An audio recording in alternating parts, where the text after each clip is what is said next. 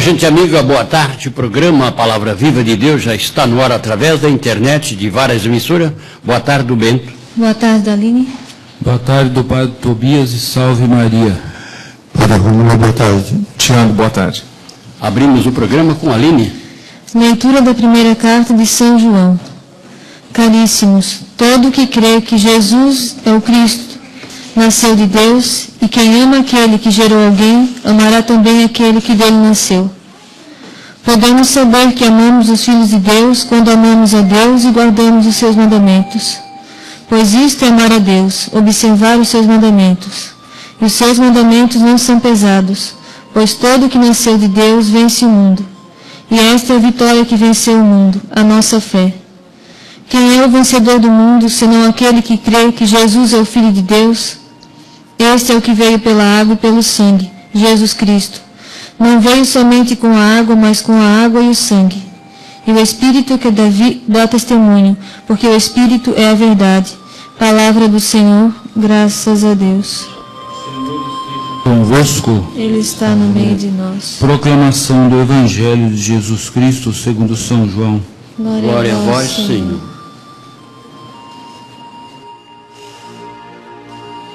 Ao anoitecer daquele dia, o primeiro da semana, estando fechadas por meio dos judeus as portas do lugar onde os, os discípulos se encontravam, Jesus, Jesus entrou e, pondo-se no meio deles, disse: A paz esteja convosco. Depois dessas palavras, mostrou-lhes as mãos e o lado. Então os discípulos se alegraram por verem o Senhor.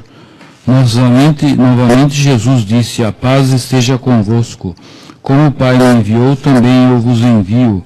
E depois de ter dito isso, soprou sobre eles e disse: Recebei o Espírito Santo. A quem perdoardes os pecados, eles lhes serão perdoados. A quem não os perdoardes, eles serão retidos. Tomé, chamado Dídimo, que era um dos doze, que não estava com eles quando Jesus veio. Os outros discípulos contaram depois: Vimos o Senhor. Mas Tomé disse-lhes: Se eu não vir a marca dos pregos em suas mãos, se eu não puser o dedo nas marcas dos pregos, e não puser a mão no seu lado, não acreditarei. Oito dias depois encontravam-se os discípulos novamente reunidos em casa, e Tomé estava com eles. Estando fechadas as portas, Jesus entrou, pôs-se no meio deles e disse: A paz esteja convosco. Depois disse a Tomé: Põe o teu dedo aqui e olhe as minhas mãos. Estende a tua mão e coloca no meu lado. E não sejas incrédulo, mas fiel.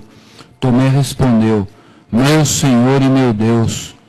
Jesus lhe disse: Acreditaste porque me viste? Bem-aventurados os que crerem sem terem visto. Jesus realizou muitos outros sinais diante dos discípulos, que não estão escritos neste livro. Mas estes foram escritos para que acrediteis que Jesus é o Cristo, o Filho de Deus, e para que crendo tenhais a vida em seu nome. Palavra da salvação. Glória a vós, Senhor.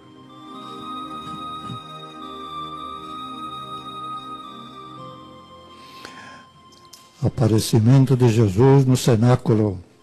Portas fechadas. Por quê? Os discípulos estavam com medo. Portas fechadas. Mas Jesus ressuscitado não vê portas fechadas. Ele entra com as portas fechadas. É o corpo ressuscitado que não depende de nada. E Jesus saúda os discípulos três vezes. A paz esteja convosco. Shalom. Palavra muito bonita em hebraico. Shalom significa felicidade completa. Tudo está perfeito. Tudo está completo. Shalom, uma palavra muito mais rica do que nas nossas línguas. E três vezes Jesus repete essa palavra, essa saudação para os discípulos. E depois deixa para nós o sacramento do perdão, que é uma continuação da paz. O que, que é a paz? Não existe paz maior do que a paz da consciência, do que Deus no coração. É um presente de Deus, a paz do coração. Jesus deu esse presente para nós, né? A verdadeira paz com um sacramento, sacramento da confissão. A paz como sacramento. Só na Igreja Católica nós temos isso, né? Sacramento da confissão. Veja que privilégio. Perdão dos pecados, garantido. Se você vai para um gerente de banco fala, eu tenho uma grande dívida aqui, quanto? 100 milhões. E o gerente generoso, está perdoado, está perdoado, paga quando puder. Será que algum gerente faz isso? Nenhum no mundo. 100 milhões, paga, ou então me traga os seus bens aqui como sequestro. Nenhum gerente faz isso. Jesus faz, né? Só vê o bom ladrão. Roubou a vida toda. Não era um ladrãozinho qualquer, era um belo ladrão. Para roubar a vida toda e merecer a pena de morte, não era ladrão de galinha, não. Era ladrão, ladrão mesmo. E Jesus, então, dá o perdão para ele, porque se arrependeu. Vai num gerente de banco, estou arrependido das minhas dívidas, me perdoa. Ninguém faz isso. Só Jesus estabeleceu um sacramento só para isso, para garantir esse perdão. Temos aqui ainda neste evangelho o episódio de Tomé, falta de fé de Tomé. Não acredito. Se eu não vir as marcas dos pregos nas mãos e nos pés e a marca no lado, não acredito. O Tomé, a gente está acostumado a dizer, veio para crer, você é um Tomé. Acontece que cada um de nós carrega um tomé dentro de si. Quem é que tem uma fé perfeita? Tem aquelas fés, né, que não é grande coisa. Tem a teimosia dos fariseus, teimosias de Anás e Caifás, sumos sacerdotes, a teimosia de Pilatos. Não tinham fé nenhuma, mas também tinham a pequena fé dos discípulos. Não acreditaram. Pequena fé de Tomás a pequena fé de São Pedro, não acreditou em Maria Madalena. Quer dizer, cada um de nós carrega um Tomé dentro de si. E até os papas, né? Sabemos disso, né? Os últimos papas aí, Pio XII, João XXIII, Paulo VI, não acreditaram nas mensagens de Nossa Senhora de Fátima. Pio XI também não acreditou. O Papa sou eu, o Papa sou eu. Se o céu tiver alguma coisa para falar, fale comigo. Tomé não acredita no céu, não acredita nas mensagens de Nossa Senhora. Quer dizer, ateus e ateus, ateus cristãos, que não acreditam na palavra de Deus. Agora imagine os cientistas, os ateus. Então, há muitos graus de falta de fé. O Tomé dentro de nós. Então vamos pedir para Jesus ressuscitado que nos dê o perdão pela falta de fé e o aumento da nossa fé. Amém. Este é o programa Palavra Viva de Deus. Essa música que eu vou rodar agora, Tiago, são 13 melodias que ainda não foi classificado os nomes da música, porque está tudo engavetado lá para quando puder mandar fazer, né? Então, você vai rodar uma música que é nova. Eu não sei se já rodei aqui, mas eu acho que não. Vamos abrir o programa, vamos lá.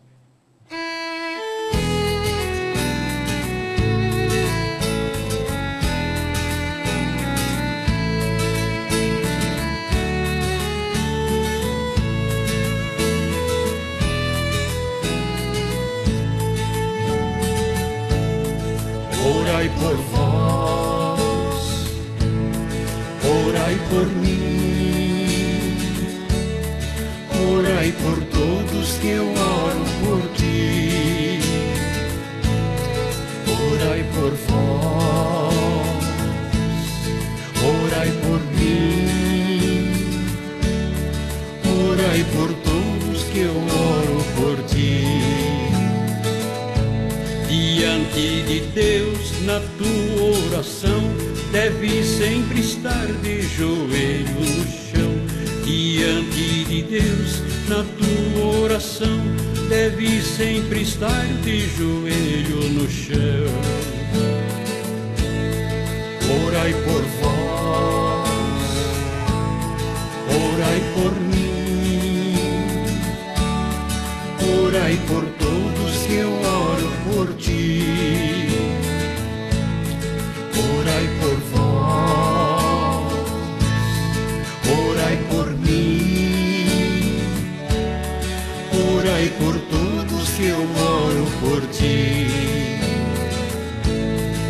Olhai para o alto e diga assim: piedade, meu Deus piedade de mim. Olhai para o alto e diga assim: piedade, meu Deus, piedade de mim. Orai por vós, orai por mim, orai por ti. Orai por vós, orai por mim, orai por todos que eu oro por ti. Olhai para o alto e diga assim: piedade, meu Deus, piedade de mim. Olhai para o alto e diga assim: piedade, meu Deus, piedade de mim. Orai por vós, orai por mim, orai por todos que eu oro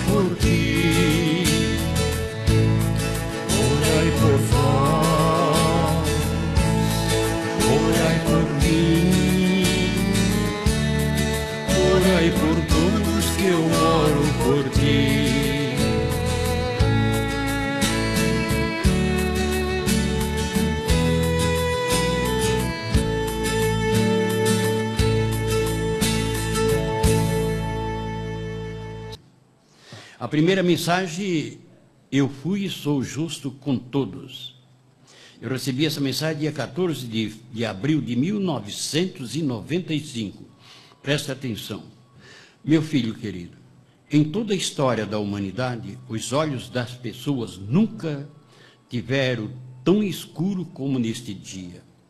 Eram poucas pessoas que tinham visão, o coração endurecido, fez com que não enxergassem a luz que estava no meio de todos. Uns pediam piedade na hora da minha prisão, outros na, nada fizeram. O restante me caluniaram e me chamavam de falso profeta. Sexta-feira negra. Para os traidores, o que Judas fez, o diabo continua fazendo até hoje. Em lugar nenhum vejo pedido de clemência para mim. O que vejo é ódio no coração dos homens. A minha morte na cruz pouco adiantou para os que são meus. Mas o restante continua no mesmo de dois mil anos atrás. Só que agora é mais triste, porque por dia são é, crucificados milhões de Cristo. Uns são mortos antes de nascer, outros na, nos assaltos e outros nas estradas. E o mais doído é o que morrem de fome e por falta de assistência médica. Veja, meu filho Bento, morri na cruz por todos, mas agora milhões morrem por acreditar em mim. É, está começando novamente a escuridão como há dois mil anos atrás. Poucos são os que estão enxergando a verdade.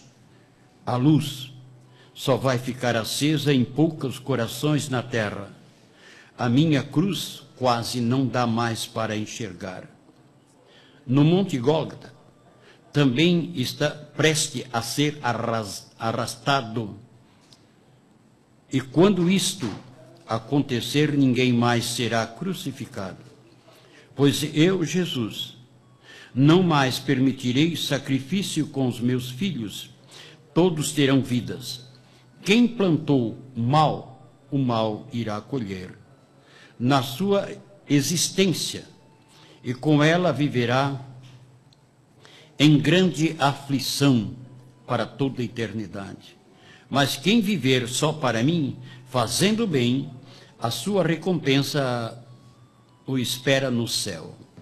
Filhos e filhas, os meus direitos foram distorcidos até agora, mas daqui por diante tudo será ajustado.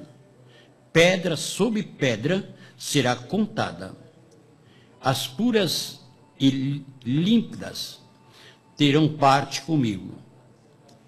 Elas brilharão como estrelas, mas não deixarei de castigar todo aquele que manipulou a minha lei. Eu fui e sou justo com todos, mas nem todos foram justos comigo. Quando tive sede, não me deram água. Quando estava com fome, não me deram comida. Quando estava enfermo, nada por mim fizeram. E eu estava com frio e me deixaram. E me deixaram. Dormi embrulhado em jornais. Por fim, me levaram preso por ser mendigo. Lá na cadeia ninguém foi me visitar. Gente hipócrita. Não entenderam nada do que eu falei, bando de Judas. Só pensaram em si. A ganância tapou os olhos. A fome que eu passei, agora chegou a tua vez. O frio que senti nas noites frias de inverno, eles irão passar no fogo do inferno. Quem passou por mim e fez o que não me viu, fez o que não me viu, do mesmo modo irei fazer. Direi a ele ou a ela: Não te conheço. E na mesma hora vou dizer: Saio de mim, malditos filhos do diabo. Só a ele é que irás servir porque em vocês não encontrei piedade.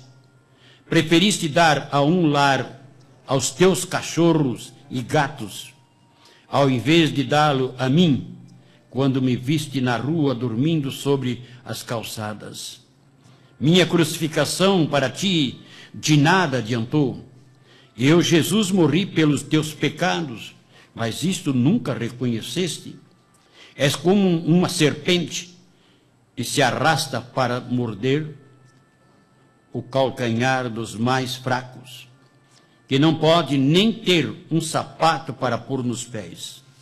Filhos da perdição, enquanto vocês se banqueteavam e eu chorava de fome nos casebres, enquanto vocês tinham o melhor lugar nos hospitais, e eu me torci de dor, abandonado e sem socorro, Agora chegou a vez do mundo conhecer a verdade.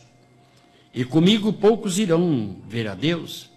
Para esse eu me alegro de dizer: Este, estes, meu, meu, meu pai, foram o que me acolheram quando eu tive frio, fome e sede. Estava preso e enfermo, e tudo fizeram por mim. Assim, meu filho, se completará o dia do juízo final. Meu filho Bento, mostre a toda esta mensagem para que vejam o que eu sinto. Minha bênção para todos meus filhos, Jesus.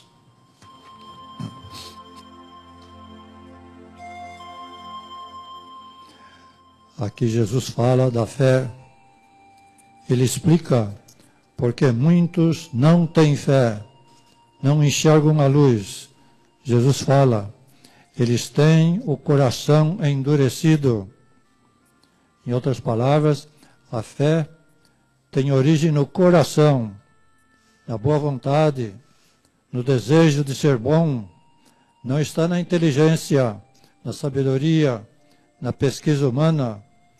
Isso é importante para não se perder tempo com aqueles que não querem porque não querem.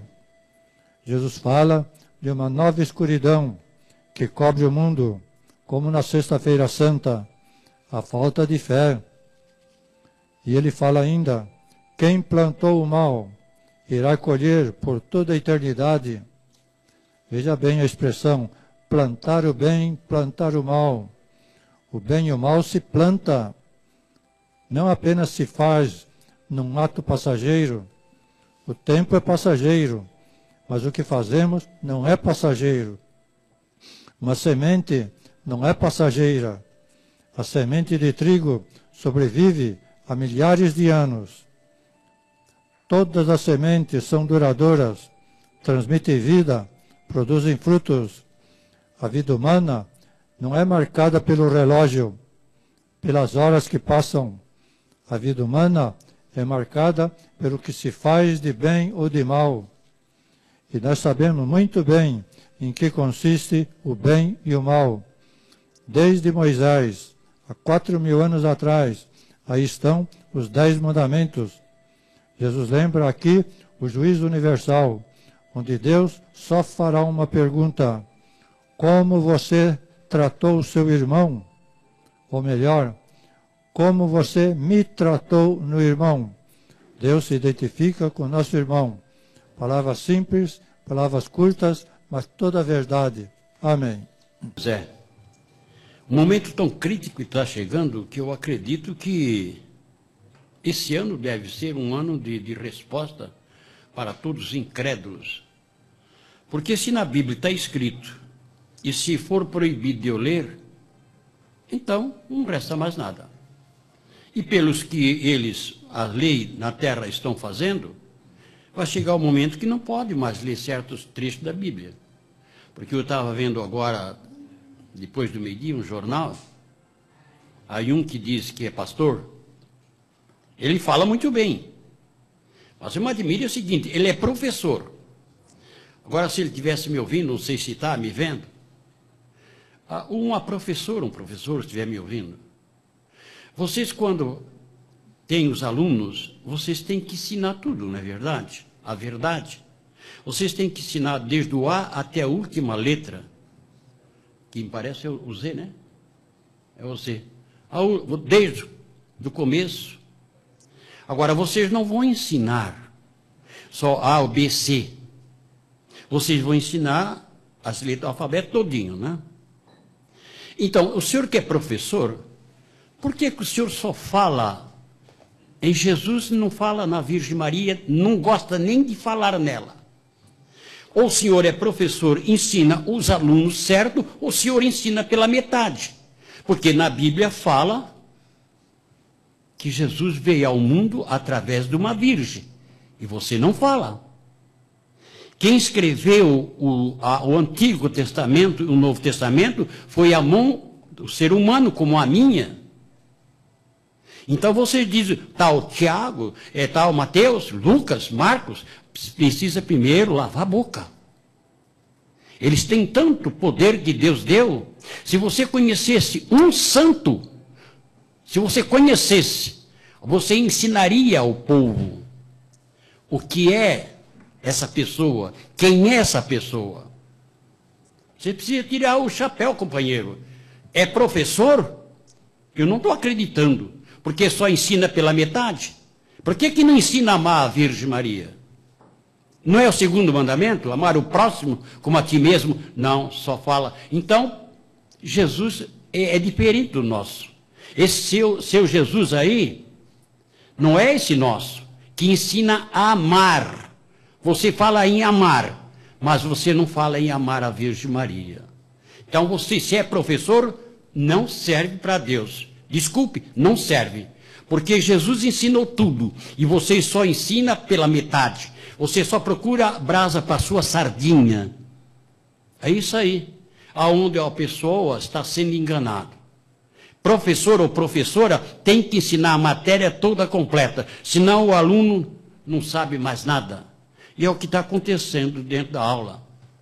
É só, é só destruição, é um matando o outro, é, é, é xingando, é professor apanhando, é professora, porque estou ensinando mal. Não ensina tudo que está na Bíblia. A música que você vai ver agora, esse, esse CD está em São Paulo, já fui para lá. E a gente procurou fazer a letra conforme eu vivi, aonde eu nasci.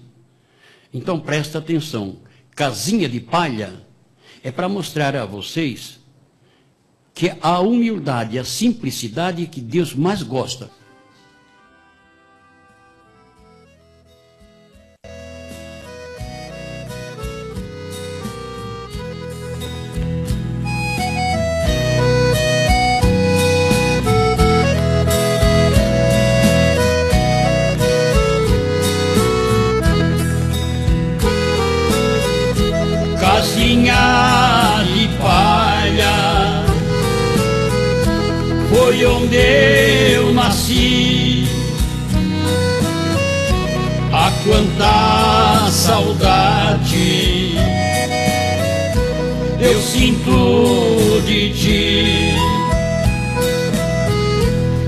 Casinha de palha foi onde eu vivi, lugar mais bonito que eu já conheci. Lugar mais eu já conheci. Casinha de palha lá do meu sertão pra lembrar de ti. Canta esta canção, casinha de palha, lá do meu sertão, pra lembrar de ti canta esta canção. Nesse mundo eu choro a dor por uma paixão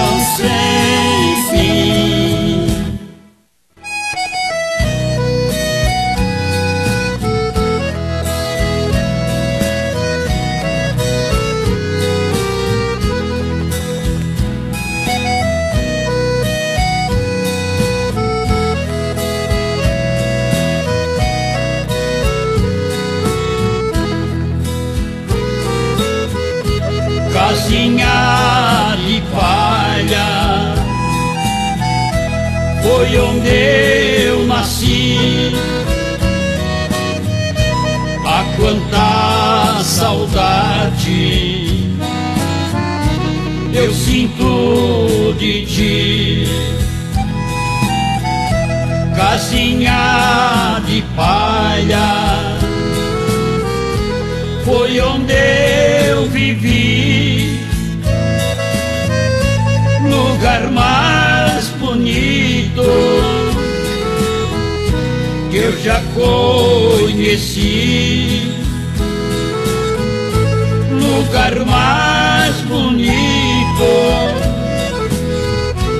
eu já conheci. Casinha de palha lá do meu sertão. Pra lembrar de ti canta esta canção casinha de palha lá do meu sertão pra lembrar de ti. Canta esta canção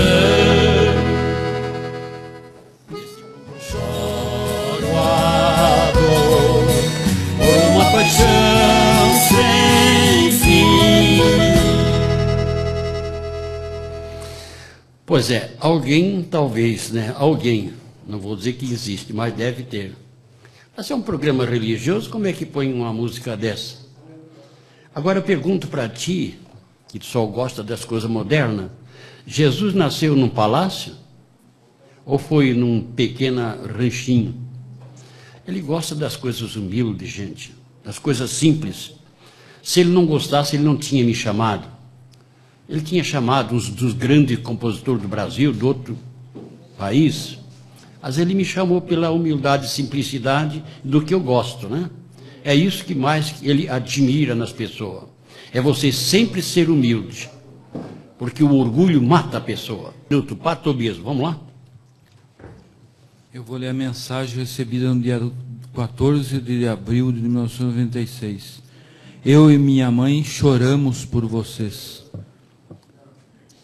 Jesus fala assim para o seu Pedro: Busca-me com teus cantos, alegro-me quando estás feliz. Guarda-me dentro do teu coração, mas triste fico se choras. Faça que eu nunca mais me separe de ti, sorrindo estarás comigo, cavan, cantando nova canção, para sempre em todas as horas. Veja, meu filho, como eu sou, apesar de toda ofensa que estão me fazendo, procuro sempre olhar com toda alegria para o pequeno rebanho que ainda me resta. Sei que um, um, rei só fica feliz quando vê a sua casa cheia de convidados. Eu, porém, sendo o único rei de verdade, não vejo os convidados se interessarem pela festa que está sendo preparada para o momento que se aproxima. A minha alegria deveria, deveria ser total, mas não é. Tem alguém querendo acabar com meu banquete, para que não venha nenhum convidado.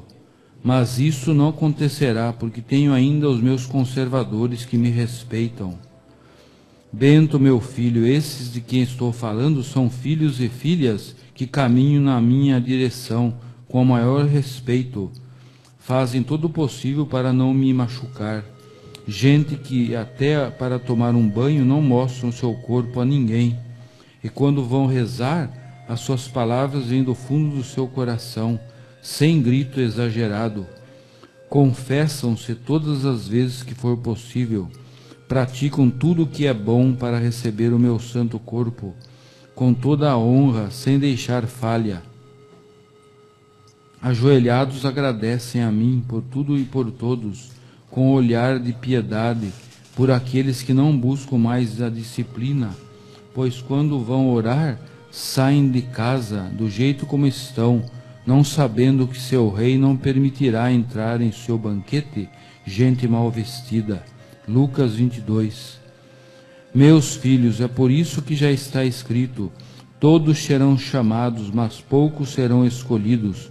Mateus 20, 16. Lembrem-se de tudo que lembrem-se que tudo passará, o céu e a terra, menos a minha palavra. No momento que vai se aproximando, a minha alegria é grande. Porém, no mesmo instante, eu e minha mãe choramos por ter que perder muitos filhos e filhas para o meu adversário. O que mais se vê agora são, mais reclam... são pais reclamando dos seus filhos que não aceitam mais os seus conselhos. Isso também está escrito. Pensam que eu Pensam que eu vim trazer a paz? Venho com a minha espada separar os filhos dos pais, a sogra de sua nora, e assim por diante. Isto porque eu já sabia que no fim dos tempos tudo iria se modernizar. Poucos aceitariam conselhos dos mais velhos, porque para muitos o estudo tira a sua fé. Ninguém quer sujeitar-se a viver num regime de obediência Dizem os que se acham estudados: a liberdade tem que ser total. Faço do meu corpo como eu quero. Ninguém pode mandar em mim, nem mesmo meus pais. Assim se vão filhos e filhas para o mundo de prostituição, sabendo que correm riscos de serem contaminados com o vírus da AIDS. Não ligam a maioria desses de perder o seu corpo e a sua alma Obrigado, meu filho, o que tu és, para mim, só eu sei, mas quem não te reconhece pelo serviço que vem me fazendo, esses são cegos, surdos e mudos. Jesus.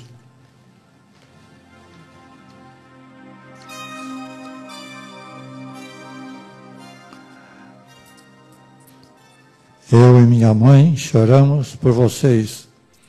Por que uma mãe chora? chora pelo filho doente, chora pelo filho ausente. As mães pouco choram por causa de seus próprios, suas próprias dores. Elas até disfarçam para o filho não ficar triste. Aí estão os provérbios de todas as nações falando das mães. Mãe é aquela que agarra a faca pelo corte. Provérbio africano. Mãe é aquela que canta baixinho, uma canção de ninar, baixinho, para não acordar a criança. Os esquibós, parente mesmo, só mãe e filho, os árabes. Mãe, a gente só tem uma, Brasil. E Nossa Senhora, na palavra viva de Deus, acrescenta um provérbio desconhecido até pelos psicólogos e médicos, até pelos cientistas. Nossa Senhora fala: o cordão umbilical nunca é cortado. Há um cordão umbilical físico que seca e ninguém sabe onde foi parar. Por acaso você sabe onde se encontra o seu cordão umbilical? Mas o cordão umbilical do coração, da alma, espiritual, este ninguém corta. A senhora que fala. É por isso que as mães choram. Com 90 anos, você ainda é um nenê para sua mãe. Uns anos atrás, quando morreu meu irmão, uma vidente me mandou um bilhete de minha mãe lá de cima, já falecida. Ela assinava, sua mãezinha. Eu estava então com 75 anos. Era um nenê para minha mãezinha. Todo mundo é nenê para sua mãe. Agora imagine a dor de Nossa Senhora sabendo que muitos filhos nunca mais vão voltar. E ela é a mãe universal, até dos anjos. Amém.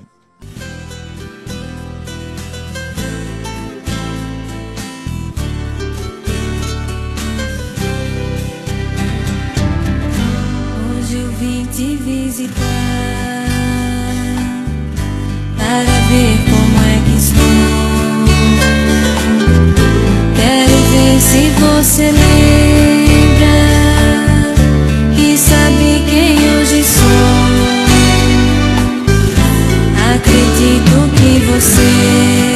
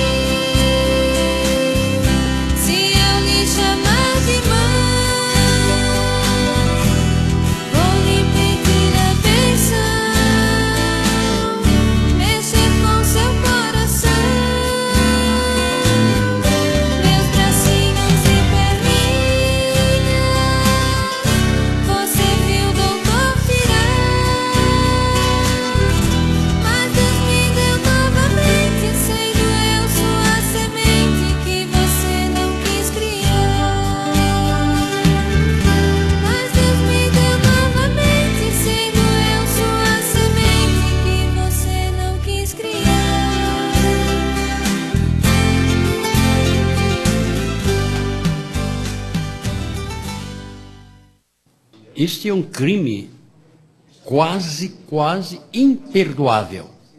Pode existir perdão, sim, da parte divina, desde o momento que tem na mensagem escrito que uma mãe faz um, que fez um serviço desse, todo dia pedindo perdão, e pegar uma criança abandonada, criar aquela criança com amor como fosse seu próprio filho, pedindo perdão todo dia, essa mãe ainda pode ser perdoada. Do contrário, nem pai nem a mãe que faz um crime desse e os que liberaram também serão condenados.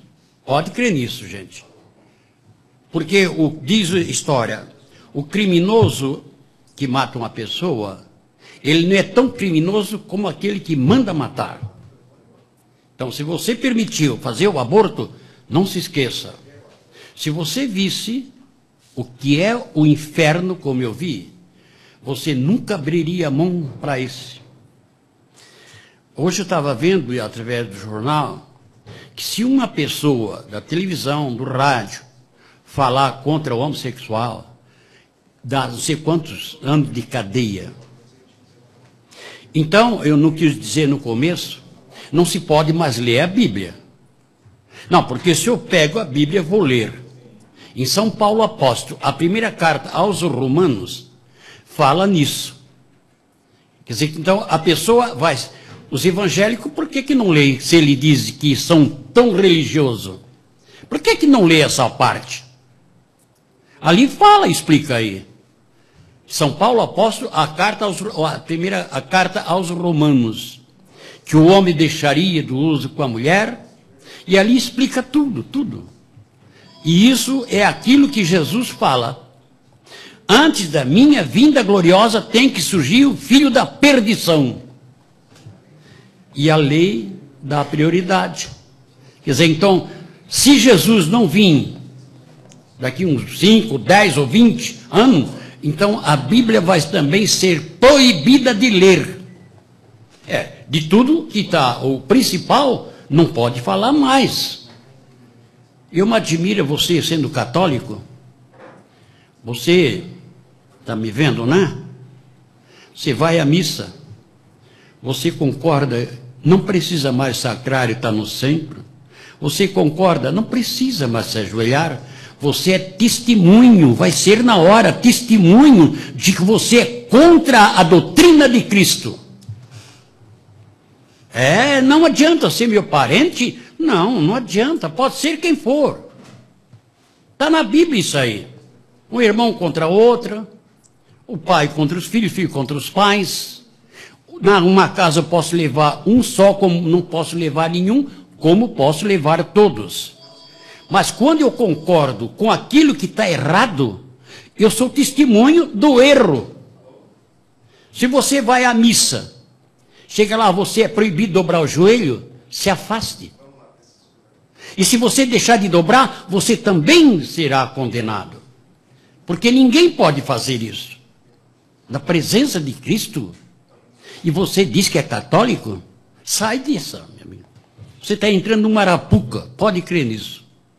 Um, e também queria, queria dizer o seguinte, Sr. Pedro, eu não sei se vocês têm conhecimento aí, aqui na Alemanha, infelizmente, aprovaram uma lei horrorosa, uh, não sei se aí também no Brasil, que, que, é, que eles deram autorização de, de, dos irmãos de se poderem casar, digamos, não é?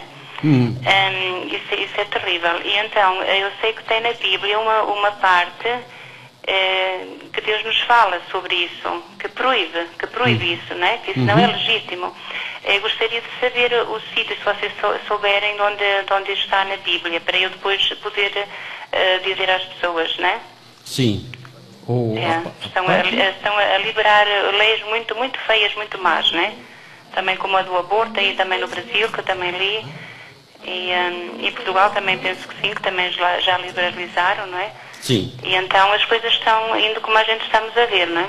Sim. Eu, eu, eu acredito, Padre Romulo, que tem muito mais estudo, né, mais conhecimento, e essa parte aí não, não pertence a Deus, não. Se são irmãos casar, já primo, eu vou dizer para vocês, primo, como a, uma da minha família, é, o meu tio Stanilau com outra prima, os dois primo irmão casaram e veio um filho cego. Agora imagina irmão casar, um, um, casar com a irmã. Para mim tudo errado isso aí. Isso é uma coisa que não, não, não- eu não sei, até hoje nunca vi dizer que tem lei para isso. Ei, padre, Romulo. Bom, é só ler Sodoma e Gomorra, né? Em Sodoma e Gomorra tudo era permitido. Agora, se é proibido matar um, claro que é proibido matar dez. Se é proibido o, o incesto, fornicação, então muito mais proibido esse pecado, né? Casamento de irmãos, muito mais, claro, né? É uma coisa, é uma coisa que não dá para entender mais nada. Ô, gente, vocês estão acreditando no meu trabalho, né? Vocês estão lendo a- a- a- o livro A Palavra Viva de Deus? Continue, gente, acreditando na vinda gloriosa de Jesus, porque não resta mais nada. O que tinha de acontecer está acontecendo. Né? É só Deus mesmo, né, Sr. Pedro, para acabar com tudo isso. É.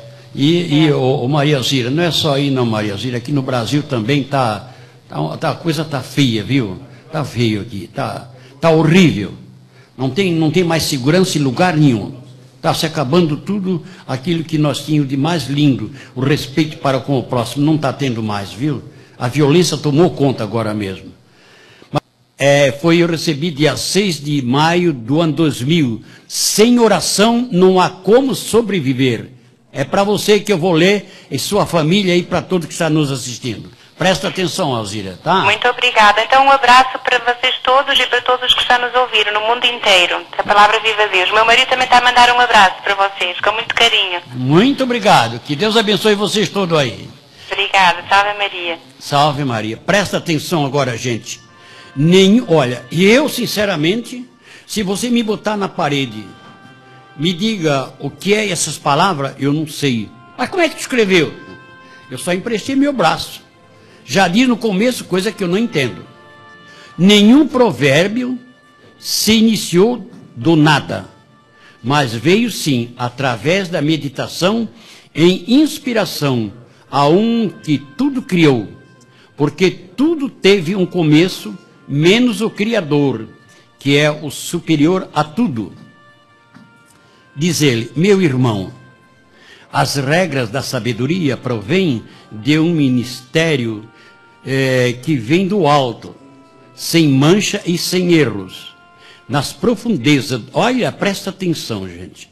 Nas profundezas do oceano se guarda também ali um mistério que a própria ciência jamais conseguirá desvendar, assim como a força da natureza, onde eles só sabem que vem pela onda do calor que se encontra com uma massa fria. Como isso se inicia e de onde sai? Isto é segredo de Deus e que jamais revela- revelará ao homem. A oração é um mistério, mas não deixa de ser uma conversa com o Criador. Como funciona? Ninguém sabe, porque não se tem resposta na hora, mas não deixa de ser eficaz. eficaz. Tu, olha, presta atenção agora.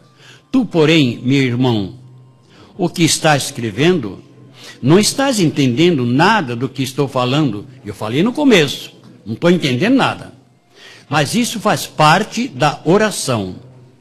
O espírito, quando está preparado para o Senhor, nele se produz o que é de mais belo, fazer coisas sem saber, para confundir homem, os homens inteligentes, os estudiosos.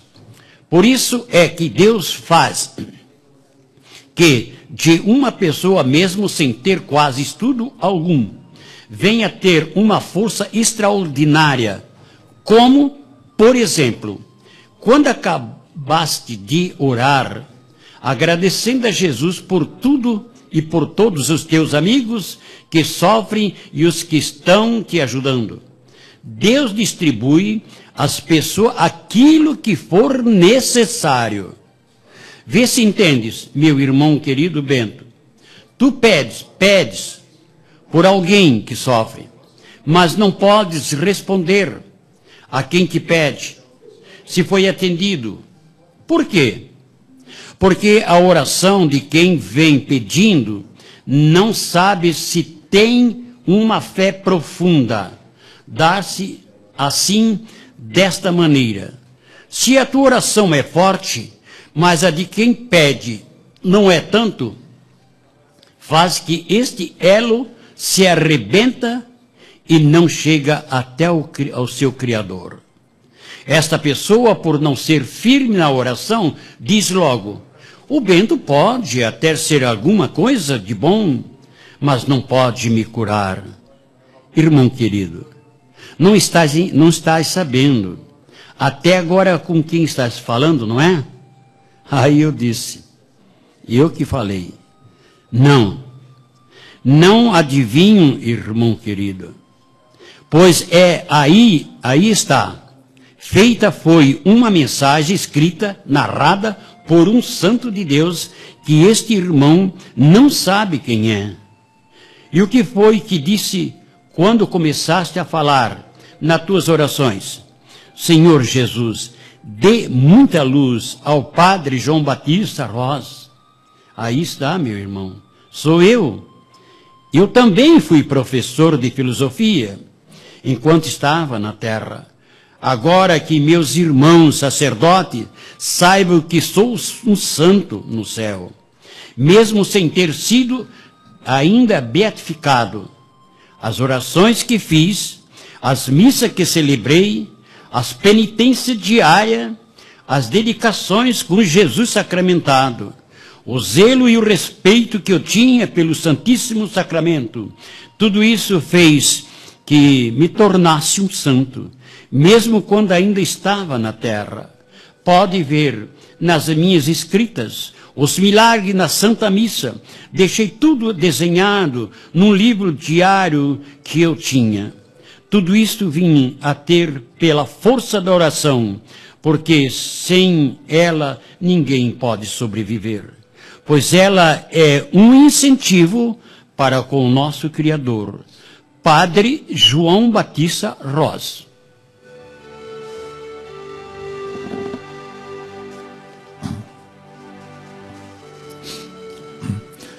Uma palavra bonita do Padre Royce.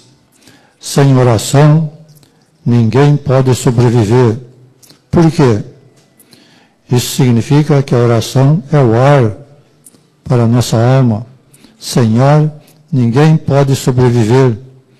Significa que a oração é alimento de nossa alma. Sem alimento, ninguém sobrevive. Significa que a oração é um remédio para a nossa alma. Sem remédio, podemos permanecer doentes. Aqui se fala, a oração é um mistério. Por que mistério? Que é um segredo de Deus. Ele colocou na oração todo o seu poder infinito. E esse poder ele dá para nós. A oração leva para a eternidade. A eternidade é infinita. A oração salva uma alma. E a alma é infinita. A oração pode operar milagres. Mas o maior milagre é a nossa vida eterna. Tudo isso está em nossas mãos pela oração. Nas mensagens, Nossa Senhora fala: a oração é um milagre. O que é um milagre? Milagre é alguma coisa que está acima das forças humanas. E esse dom nos é dado de presente. A gente pensa que só os santos tinham o dom do milagre. Nada disso. Cada pessoa tem o dom do milagre pela oração. Santo Afonso de Ligório tem 113 livros. Um deles é sobre a oração. Ele afirma que foi o livro mais importante que escreveu. Queria dar de presente um exemplar para cada habitante da terra. No tempo de Santo Afonso, os teólogos viviam discutindo um problema. Quem é que se salva? Por que alguém se salva e outro não? Já estamos predestinados? Diziam que Deus tem duas listas no céu. Uma das almas que se salvam, outra das almas que se perdem. Esse era o problema no tempo de Santo Afonso. E o santo acabou com o problema respondendo: realmente Deus tem duas listas no céu, mas quem assina a lista é você. Quem reza se salva, Quem não reza se perde. Se você reza, está assinando a lista do céu. E toda a igreja, todos os papas, todos os teólogos concordaram com Santo Afonso. Em suma, o milagre está em nossas mãos. Você pode até rezar oração do ateu. Meu Deus, eu sou um pobre ateu, descrente, indiferente, não creio em nada, mas tem dó desse pobre ateu. Não quero ser nem louco nem burro. Amém. Para você mesmo. É uma das músicas que eu fiz num momento de inspiração muito, muito profundo mesmo. Nessa hora que eu estava fazendo essa música, você vai ouvir, parecia o céu todinho que estava me ajudando. Então, diz assim, a sem oração, compadre João Batista Rosa falou, ninguém pode sobreviver. E eu, é na oração e na música. Presta atenção, vamos lá, Tiago.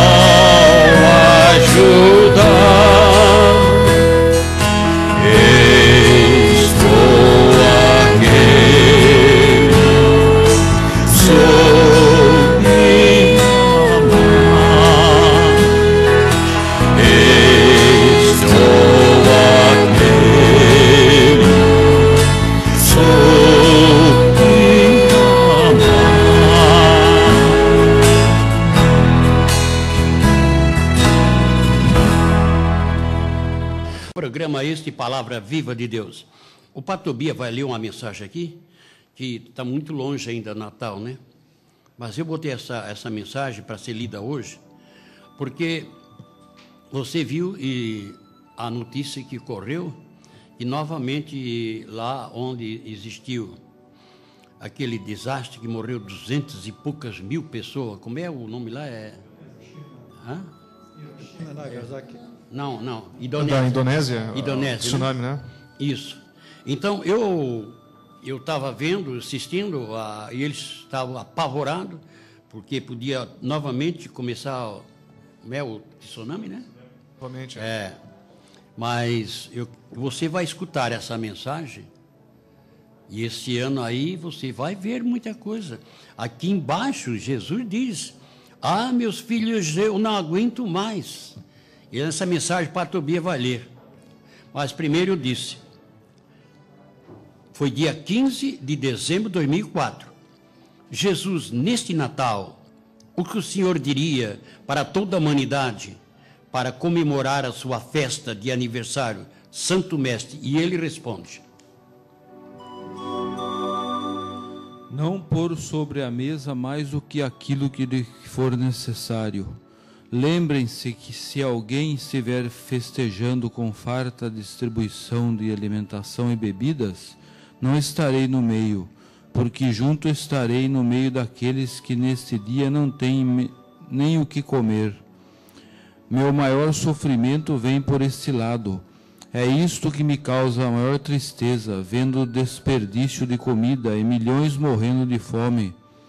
É como uma plantação, se há falta de, falta de irrigação, as plantas por si secam, depois morrem. O mesmo vem acontecendo em muitos países. A doutrina filantrópica dos homens é totalmente diferente da minha, onde eu disse: Dai de comer a quem tem fome e ajudai os mais necessitados. Conferir Mateus 25:35. Mas não me dão ouvido, principalmente esses engravatados, onde a maioria só pensa em si. Natal, meus queridos filhos, é prosperidade, não desigualdade. Natal é tempo de oração e conversão, a não, e não ver os lucros pelo que ganhou durante o ano. Natal é eu bater na tua, em tua porta e te perguntar: posso entrar, mesmo sendo um pobrezinho?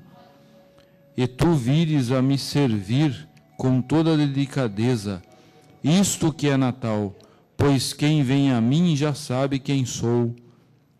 Sou o maior inimigo dos o maior amigo dos pobres, dos injustiçados, dos descamisados, que não têm o que comer e nem o que se vestir. Esses são meus amigos. Eu não virei buscar os que passam por mim e nem sequer me cumprimentam, os que não se importam com a minha pessoa, só porque sou um mendigo. Isto não é Natal. Na, na boca da maioria, Natal é festa de fartura e de muita bebida. Este gesto faz com que me afaste sobre eles. Um lavrador muito pobre me disse um- num dia de Natal: Senhor, quis preparar uma ceia para o Senhor junto com minha família. Então fui matar alguns pássaros para nós comermos, porque pouco tenho, mas fui preso. Agora não tenho nada para lhe servir. Então eu disse a ele: Por que não me falaste na hora? E onde ficam os pais que fazem aborto? Este não é o maior crime? Ah, meus filhos, eu já não aguento mais, pois tão logo irá começar as grandes catástrofes. Não é este o meu desejo para esse Natal. É o próprio homem que vem me desonrando, deixando-me morrer de fome. Então a justiça será tão logo feita, pois quem muito quer perderá quase tudo, e para quem pouco tem, depois da tempestade virá a bonança. Jesus deu essa mensagem.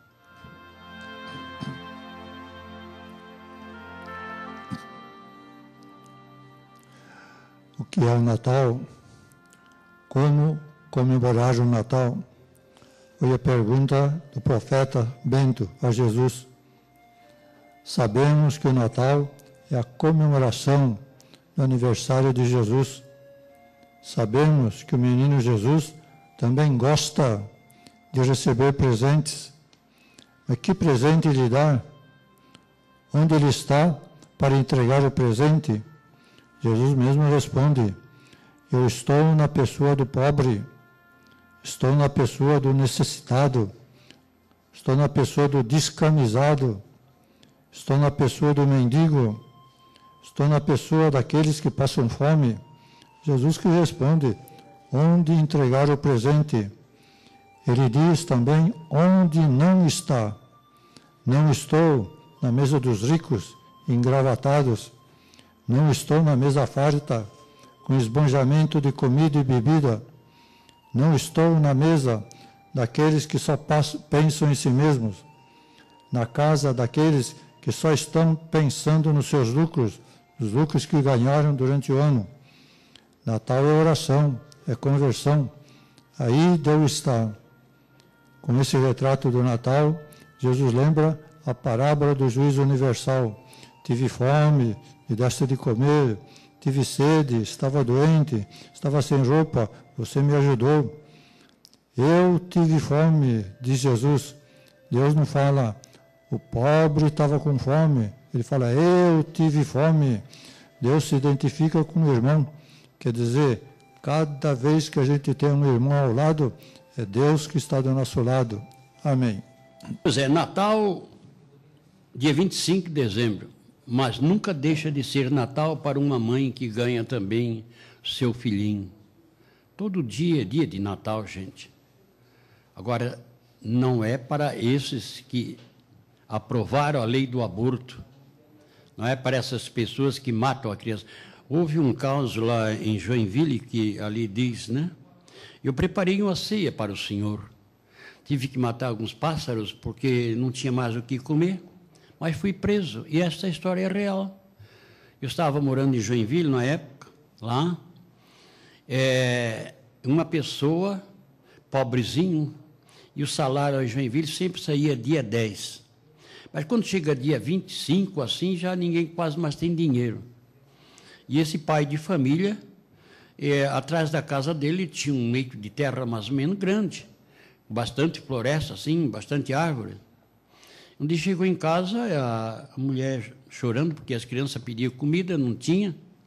Ele ficou apavorado, então passou a mão numa espingardinha daquela antiga dele e foi lá atrás, na floresta dele, lá, matou, peço umas rolinhas lá para matar a fome, né? O vizinho do lado, que já não gostava muito dele, chamou a polícia. A polícia chegou e prendeu. Prendeu ele, as rolinhas, a espingarda, e levaram para é, até o delegado é Edésio, não me esqueço, naquele tempo. Chegou lá, para o delegado, ele disse, por que, que você sabe que é lei, não pode matar? Por que, que você fez isso? Aí o que ele respondeu, seu delegado, o senhor sendo pai de três, quatro, cinco filhos, o senhor vendo chorar os seus filhos e não tem nem a metade de um pãozinho para dar para ele, o que é que o senhor faria nessa hora? Vendo os filhos chorando de fome, não tem de onde tirar. O dinheirinho meu não dá para chegar ao fim do mês. E o que eu fiz? Meus filhos estavam chorando de fome, não tinha comida, senhor delegado, não tinha nada, nada para matar a fome deles. Eu fiz isso só para matar a fome. Delegado, o senhor pega as suas espingardas, os seus passarinhos, vai lá e mata a fome dos seus filhos, vai. E ele liberou. Porque é uma realidade isso aí, gente. É, a fome é a coisa mais triste que tem, mas o povo não olha nesse lado aí, né? Só quero Deus para si e bicho para os outros. Você vai ouvir agora o clipe O Fim dos Tempos.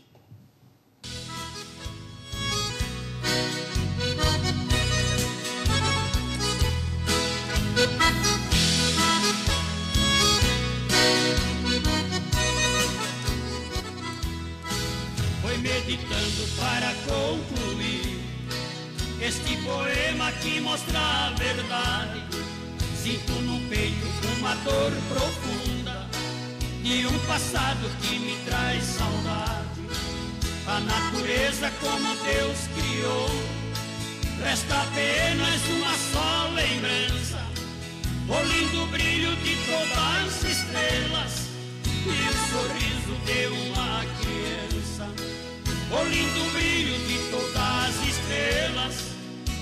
sorriso de uma criança.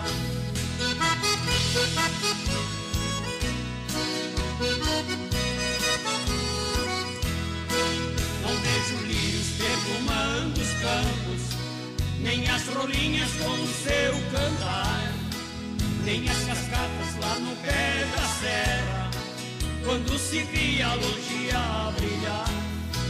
A natureza está morrendo aos poucos, que até parece a ponta de um estupim. As matas verdes desaparecendo, o velho mundo está chegando o fim. As matas verdes desaparecendo, o velho mundo está chegando ao fim.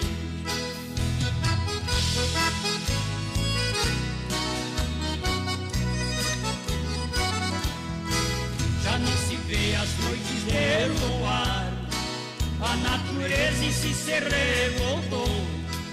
Um lado a chuva destruindo tudo, e a outra parte a seca já queimou.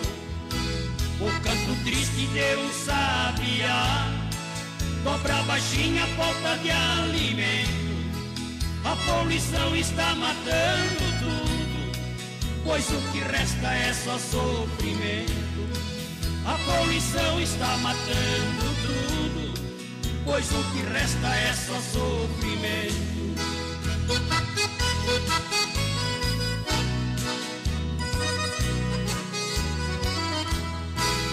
Agora eu vejo que está se cumprindo, porque a fé está se acabando. São muito poucos que dobram o joelho para Jesus quando estão orando. Se falta amor, falta o respeito, então a terra sofre todo instante. A natureza sem dobra de Deus, aonde estão os nossos governantes? A natureza sem dobrar de Deus Aonde estão os nossos governantes?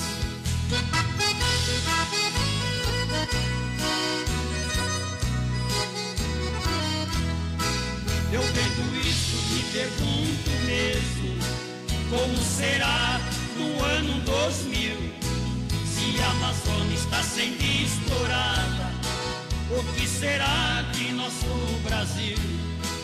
A nossa fauna resta muito pouco E o sertanejo não sabe o que faz. Vamos pedir para Jesus Cristo Urgentemente traga amor e paz. Vamos pedir para Jesus Cristo Urgentemente traga amor e paz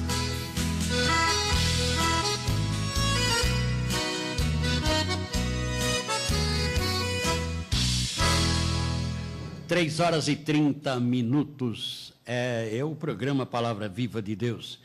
A- a- agora a mensagem, às 5. Jesus sacramentado, dia 12 de abril de 2005. A propie- propriedade dada à pessoa que Deus escolhe de ser o líder nos assuntos sagrados é de suma importância ela é direcionada palavra por palavra a uma pessoa que está estre- estritamente a serviço de Jesus. A escolha é dele e ninguém pode tirar. Os profetas antigos, quando começaram a servir ao Senhor, muitos achavam estranho ver um homem conversando com um espírito sem ter imagem alguma diante dele onde com os deuses pagãos era bem diferente. Tinha de ter uma imagem de um ser horrível ou de um animal. O Senhor dos Exércitos viu que aquele povo estava indo por maus caminhos.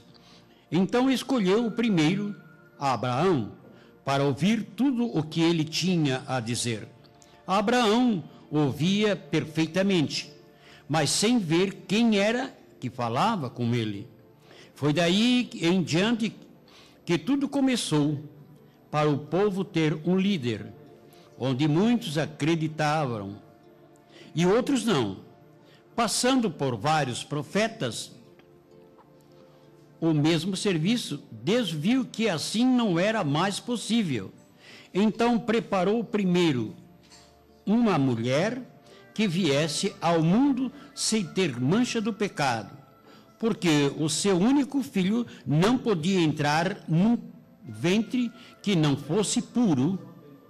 Maria foi a escolhida, e José, o varão, para cuidar dela pelo desejo dela, queria ser mãe, mas tinha vergonha de mostrar o seu corpo a José. Deus, por sua vez, pediu ao seu anjo que dissesse a José que não tocasse no corpo de Maria. José obedeceu. Maria, então, passou a ser o seu primeiro sacrário, do mesmo jeito como concebeu Jesus no parto, voltou o seu corpo novamente a ser fechado, como o sacrário na igreja. Da, depois da hóstias, seis consagrada. A maior, ela fica posta para ser adorada, mas sempre no meio do altar, como Jesus ficou nove meses no seio de Maria. Assim deve ser em todas as igrejas. Se daqui por diante Jesus sacramentado for posto outro, em outro lugar, e não mais no centro, presta atenção agora, gente. Ali ele não estará mais presente. Fica difícil compreenderem este mistério, mas pode-se basear. Se uma criança estiver fora do útero da mulher, corre perigo, ou se ele estiver danificado. O mesmo processo é com Jesus. Ele, por sua vez, não permite nenhum bispo ou cardeal. Vocês estão me ouvindo, gente cega? O cardeal, mude esse sistema. Se houver mudança, pela sua teimosia, isso faz parte da apostasia. Agora mesmo, com a saída de João Paulo II, é que irá piorar. Lembre-se disto, filhos de Deus, escolhido por Jesus. Vocês não devem ser vencidos. Ao contrário, devem ser corajosos e vencedores. Os direitos sagrados da Santa Comunhão ficarão nas mãos do sacerdote escolhido para o fim dos tempos. Entregue-se a ele, irmão em Cristo, porque nós também sofremos muito, muita injustiça. Francisco de Assis me chamam, mas também Antônio de Pádua, Cecília e muitas outras, outros. Fomos perseguidos por ter sido nós a dar o máximo de respeito para com Jesus sacramentado. Agora serão vocês. E para quem desejar ir à luta até a vinda gloriosa de Jesus, faça por merecer que a vossa recompensa vos espera no céu. Não se deem por vencido, cada um é livre daqui por diante para obedecer só a Jesus e não mais a um homem que já se comprometeu em tirar Jesus sacramentado do centro da igreja. Afastam-se desses. Eles não terão a luz do Santo Espírito se não vierem a se arrepender. Francisco de Assis.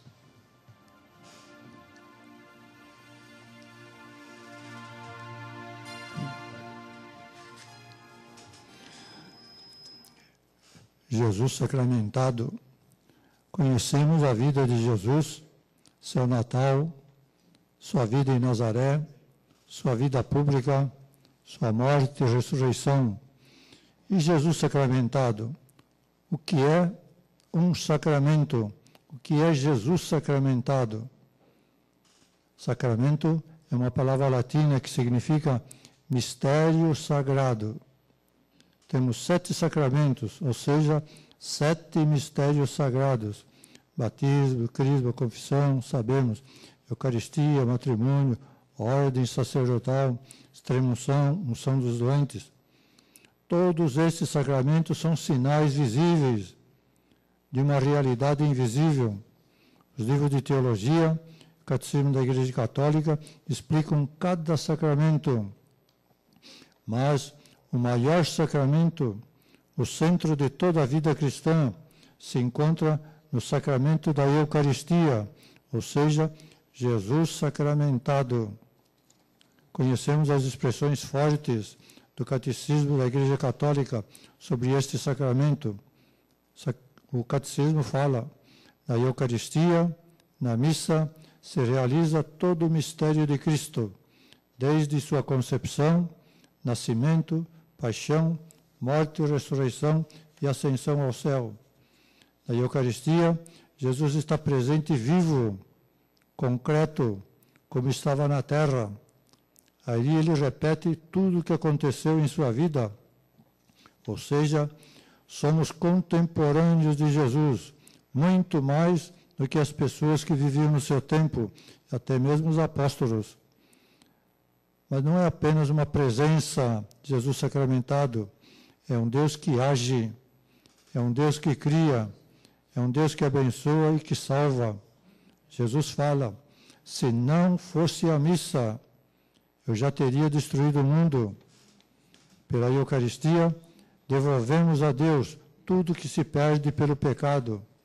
A Eucaristia é uma indulgência plenária cada vez que você participa. É um Deus vivo, ansioso por seus, seus, seus, seus presentes. Por isso, o maior crime de hoje é roubar dos cristãos seu maior tesouro, o altar-mor, Cristo no centro.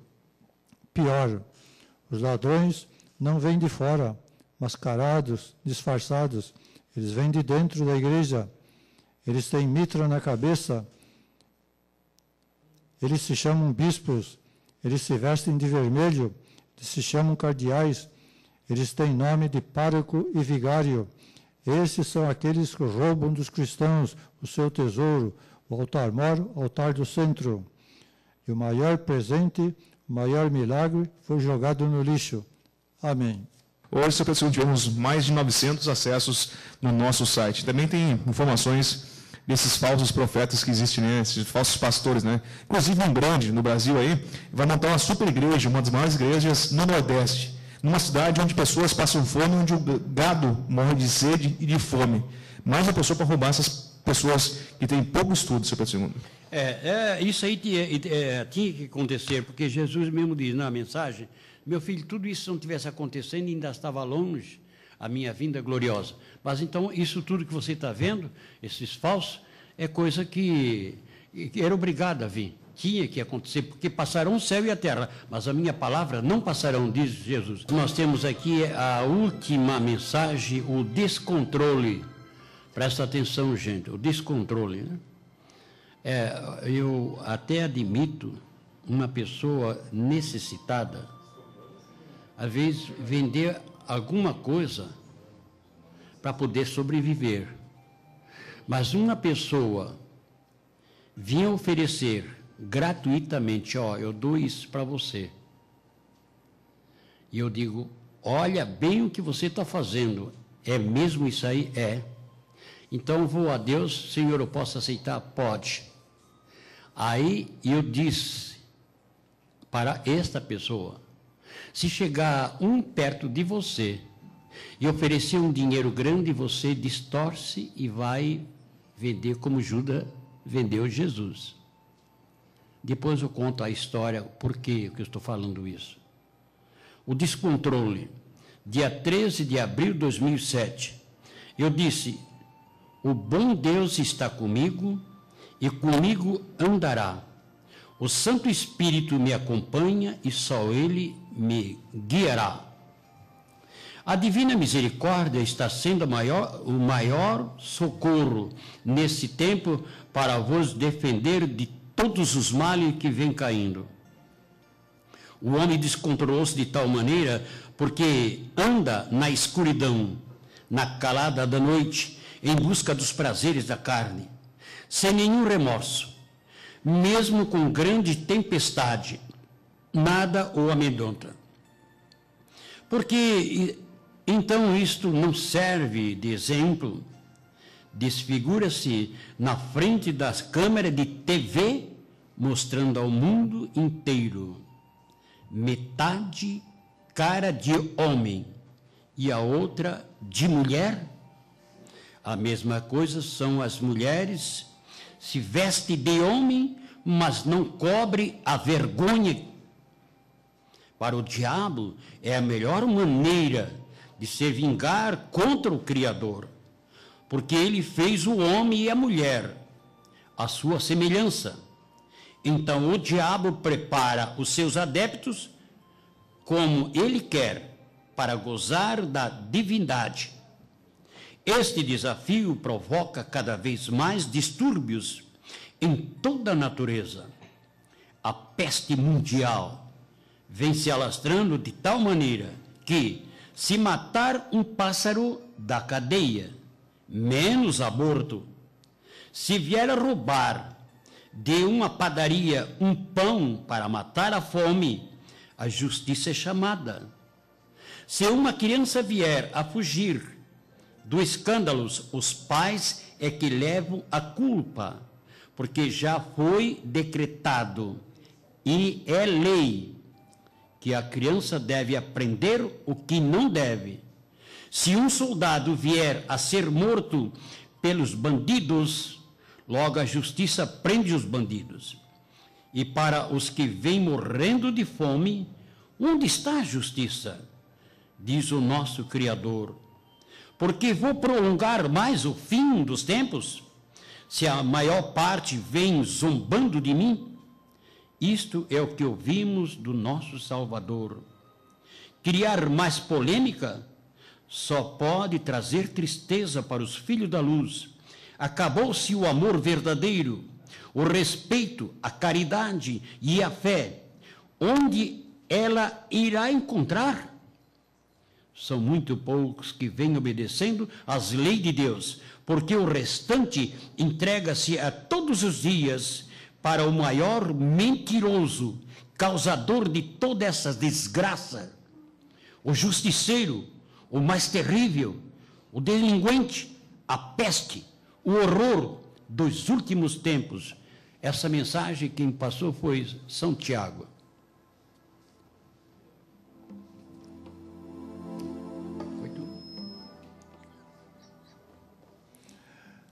Aqui se fala do descontrole do mundo. Tudo na história tem uma causa. É esta preocupação básica dos historiadores, dos cientistas, dos filósofos, examinar as causas por que o Império Romano caiu depois de mil anos de poder absoluto? Porque os impérios vêm se sucedendo um após o outro, 40 impérios na história? Porque surgiu a Revolução Francesa, cortou a cabeça dos reis e também de cidadãos pacíficos?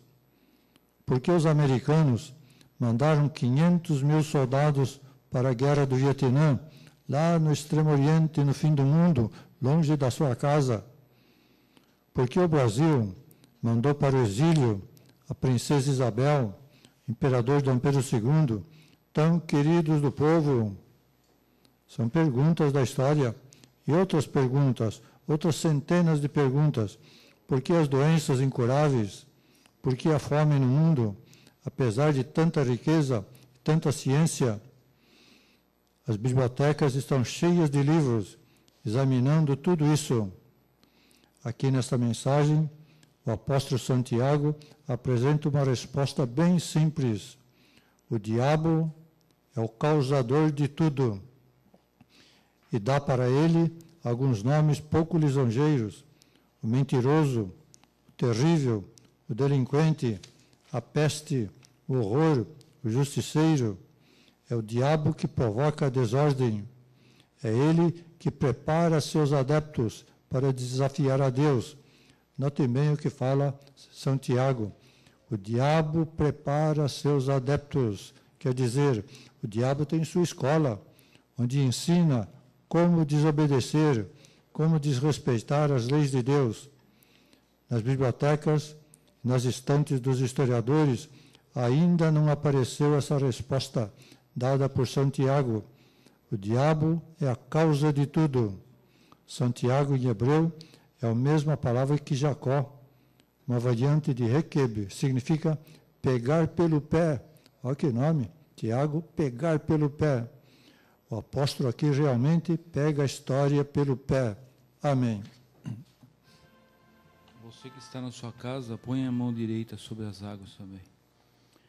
Senhor nosso Deus, Salvador e Redentor, pela intercessão de vossa Mãe Santíssima, dignai-vos nos abençoar e as nossas águas, as velas, os terços, as chaves das casas, chaves dos carros, casas e carros, os utensílios domésticos das nossas donas de casa, os remédios, alimentos e os oratórios nas casas de nossos radiovindes e internautas os oratórios da palavra viva de Deus, para que eles, que eles rezam lá. Fazei que a vossa bênção seja derramada em seus corações, para sentirem vossa presença que caminha com eles. Por isso abençoai, Pater et Filhos et Spiritus Santo. Amém. Boa tarde, salve Maria. Pois é, nesse dia 10 de junho, que completa 40 anos se tiver mais sacerdote para ajudar ali, pode vir, né, Patobia, né, Padrão? Pode vir, que nós recebemos de braços abertos. Agora, tem chance, meus amigos, vocês que tinham tanto no começo, depois na metade, no caminho, e que desistiram, não quiseram mais voltar. Se vocês quiserem voltar, volte. Volte, porque não é brincadeira, não. Eu estou falando sério. Estou falando sério, viu? Todo aquele que rejeitaram que não quer mais saber de mim, depois, na última hora, não adianta correr, que não vai dar tempo, viu? Não estou falando nada de fim do mundo. Eu estou falando se você não se converter. Toda sociedade que não soube respeitar a quaresma, proprietário e aqueles que dançaram, pagarão caro. Porque Jesus, só 40 dias, em 12 meses, 40 dias, pede oração e conversão e a sociedade não dão mais respeito, abriram as portas mesmo. Pagarão caro por isso também. Muitas coisas vão desaparecer da face da terra. Vamos embora então? Já deu lá, boa tarde, Padre Tobias? Já? Boa Bom? tarde do Padre Tobias e salve Maria. Boa tarde, salve Maria. Padre Rômulo, boa tarde.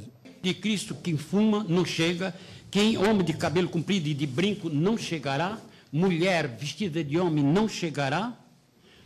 Tudo aquilo que, que está errado, que está na Bíblia, nenhum dessas pessoas chegará na presença de Cristo.